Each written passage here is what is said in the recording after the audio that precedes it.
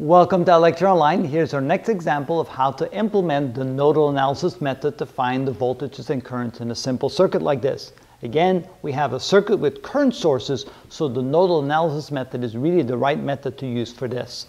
Let's follow our steps. First, we want to find a reference node with a known voltage. Let's go ahead and connect the bottom of the circuit to ground. That causes this to be at zero volts. The next step is to assign the other nodes with a voltage. We have a node here, we have a node there, so let's call that V1 for that node and V2 for that node. We don't know what V1 and V2 is, uh, or are I should say, and uh, that's what we're trying to find here. The next step is to assign currents to each branch.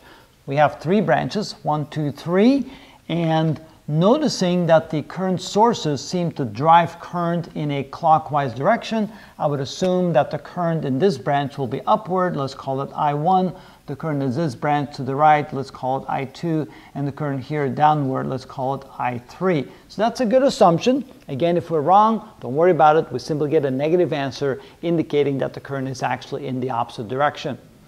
The next step, step four, we need to derive some equations. We use the Kirchhoff current law at each node to derive some equations relating the currents to each other.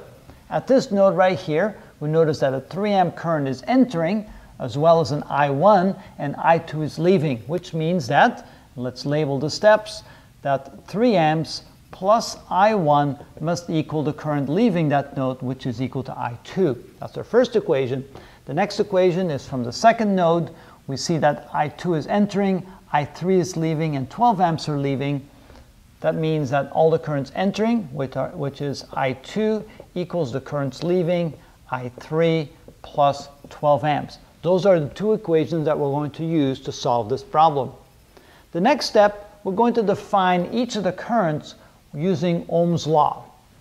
For step 5, we can define I1 as the drop in potential on this branch that would be V1 minus 0.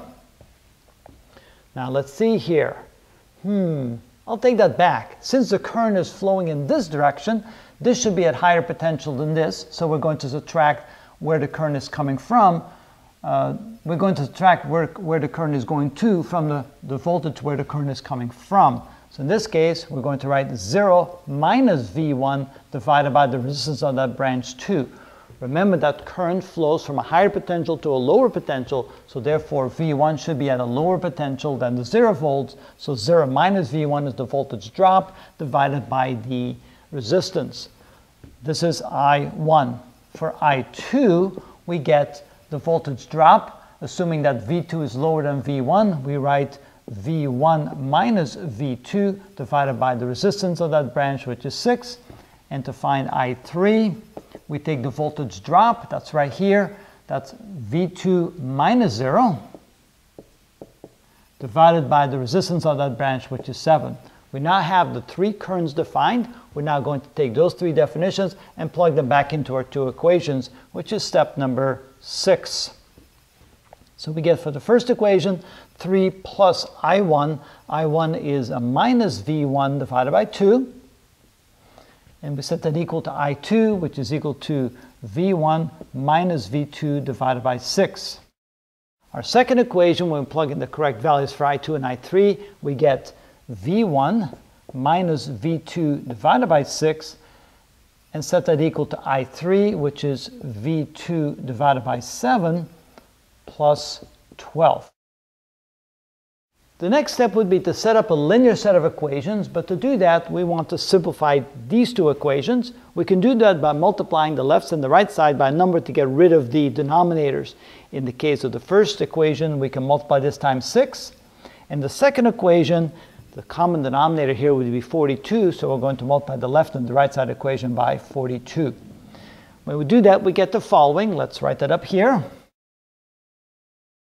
Step number seven, our first equation, we multiply times 6, we get 18 plus, or actually minus, right, that's minus.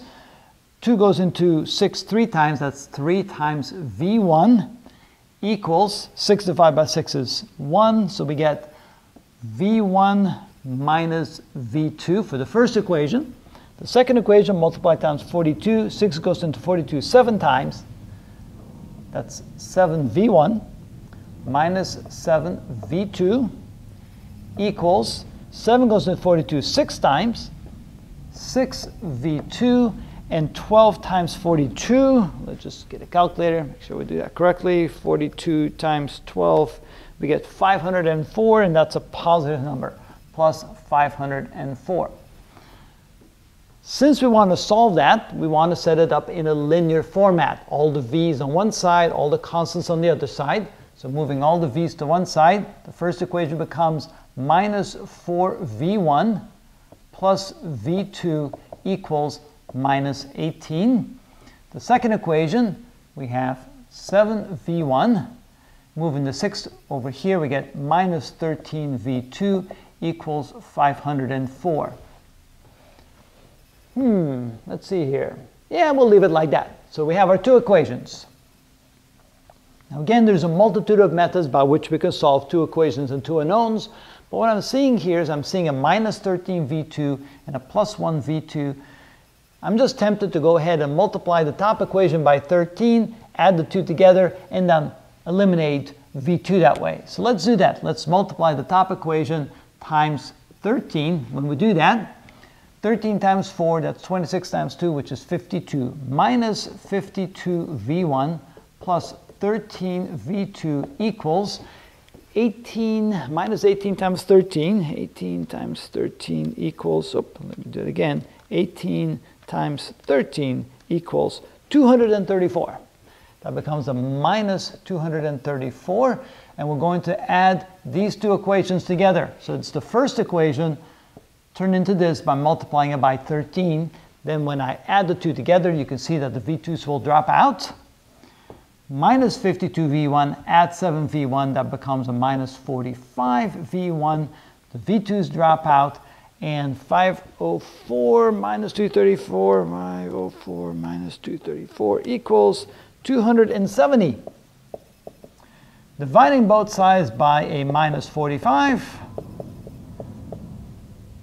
notice then that V1 is equal to a minus 6 volts.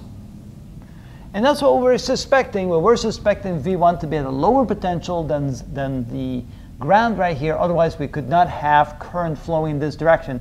The current uh, source right here is driving the, the current in such a way that this had to be a lower potential than this.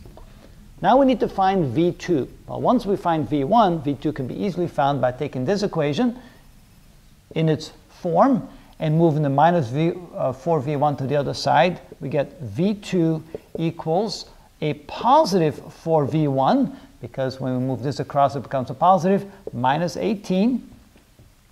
v2 is equal to 4 times v1, which is minus 6, minus 18. That's minus 24, minus 18. That would be minus 42. v2 equals minus 42 volts. And there we have the voltage at the next node. All we have to do now is to find the currents, is to simply go ahead and substitute these back in. Let's just work out one of them. I1 can be found by taking the minus, the negative of V1, negative of V1, and uh, dividing it by 2. V1 is at minus 6 volts. That's a plus 6 volts divided by 2, which is equal to 3 amps, which means that I1 is at 3 amps, and then you can find I2 and I3 in the exact same methodology. Well, while we're at it, why don't we go ahead and do that because that gives us a good check to see if we did everything correctly. I2 is equal to V1 minus 6 volts minus V2, and V2 is a minus 42 volts. Dividing that by uh, 6. That's a plus 42 minus 6, that's 36 divided by 6 which is equal to 6 amps. I2 is equal to 6 amps. And finally, when we look at I3, I3 is equal to V2, which is minus 42 volts, divided by 7, which is minus 6 amps. That's interesting. I get a negative value for I3. Why is that? Hmm.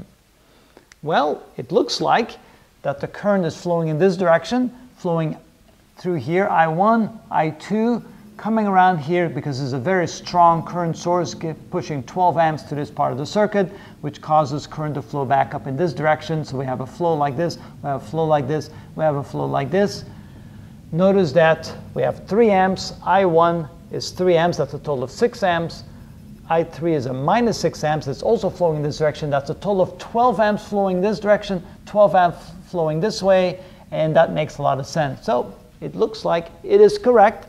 That's how we find the voltages and the currents using the nodal analysis. And again, that method is specifically useful when you have current sources in the circuit.